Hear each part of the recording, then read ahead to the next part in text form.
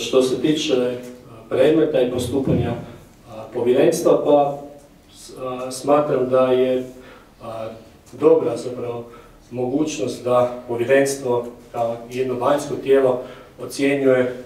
postupanje policije i zapravo nakon što povjerenstvo donese odluku, policija je dužna preispitati svoje dosadašnje postupanje i o tome obavijestiti građana. Smatramo da je to napredak i da na taj način zapravo se šalje poruka da i vanjsko tijelo koje je sastavljeno od ljudi koji se u svom radu bave policijom i zaštitom ljudskih prava kontroliraju postupanje policije. Što se tiče napretka, smatram da neprosto zbog nekoliko razloga Znači, povjerenstvo trenutno većinom rješava nove, stare predmete, znači pred povjerenstvo dolazi tek, evo, primjerice prošle godine mi smo dobili ukupno 15 predmeta, znači kroz čitavu godinu. Važno je opet istaknuti da, je, da su građani uložili gotovo 2000 pritužbi na rad policije. Mi smo dobili zapravo svega 15 predmeta, tako da smatram da je tu prostor za napredak kako će građani uopće uvidjeti da postoji tijelo, jer moramo biti, mislim, moramo biti objektivni, nije postalo pet godina tijelo, a isto tako postoji razlika između ovlasti sadašnjeg povjerenstva i prethodnog povjerenstva, znači građani se mogu nama žaliti predmet će nam doći na postupanje samo ukoliko se radi o postupanju policijskih službenika u primjeni policijskih ovlasti. Znači, ako se radi primjerice o postupanju policijskih službenika i policijskog službenika izvan službe gdje nije primjenjivao policijske službenike, u tom slučaju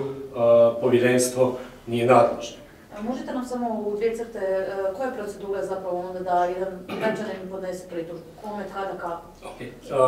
evo, ponovit ću još jednu. ako su građani nezadovoljni na rad policije, u tom slučaju mogu uložiti pritužbu, znači pritužba u pisanom obliku ili mogu doći usmeno na zapisnik u policijsku upravu ili u Ministarstvo unutarnjih poslova podnijeti pritužbu.